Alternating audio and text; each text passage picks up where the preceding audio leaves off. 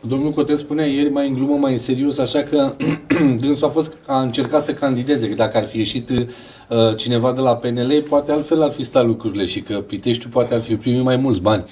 Dar nu vreau să intru în această polemică. Adică mai, nu, mai serios, uh, Sincer, nu mai mi-aduc aminte unde a vrut să candideze, pentru că nu prea a fost uh, clar ce, ce candidatură și-a dorit. Au anunțat în campanie electorală că dânsul urma să fie viceprimarul din partea PNL-ului. Eu așa țin minte. Uh, aceste anunțuri, din punctul meu de vedere, sunt făcute pur demagogic, sunt făcute doar în scopul de a aduna voturi. Dacă vrei și îți dorești cu adevărat să candidezi undeva, păi atunci trebuie să candidezi. Avea ocazia să candideze la postul de viceprimar și nu a făcut-o după cum bine știm. Domnul Stan, au trecut uh, alegerile, au trecut ceva vreme, ați fost păcăliți de partid, de conducerea partidului, uh, cei care ați candidat, ați fost câțiva candidați, uh, în cursa aceea internă, în toate chestiunile care s-au... Ați fost păcăliți, vă simțiți da, păcăliți? e pentru prima oară când vorbim aici. Deja lumea cred că știe foarte bine că partidele politice în general momesc oamenii și păcălesc și pe membrii de partid, dar și pe alegători.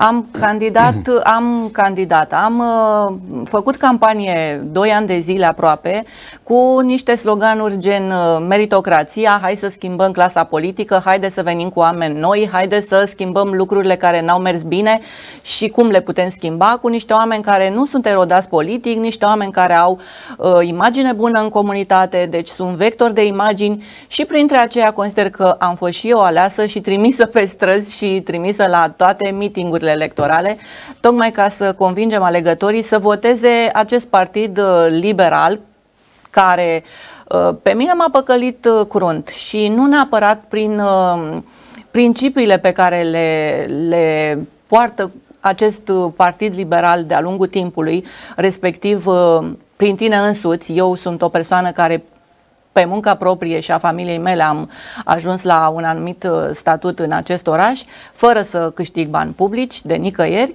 Uh, și cu toate astea uh, mai mari partidului nu au considerat necesar ca după ce am fost trecută prin tot ciurul acesta de, de muncă de partid, nu au considerat că merit să am un loc eligibil pe, pe o anumită listă Asta, de fapt, ar fi determinat piteștenii să vină la vot, cred eu, și partidul a fost taxat datorită acestor uh, alba-neagra cu uh, oamenii uh, pe care a simțit nevoia conducătorul partidului să-i răsplătească după ce alegerile au fost un fiasco până la urmă, datorită tocmai acestor decizii proaste, ne, nejudicios uh, analizate. De fapt, au fost niște decizii luate în uh, culisa cea mai ascunsă a partidului. Nu s-a discutat niciodată în mod public care este strategia partidului, uh, care va fi echipa care va, va merge